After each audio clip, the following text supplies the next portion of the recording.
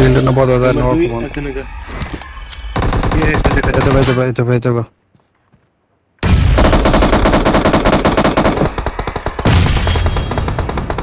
भाई ये तो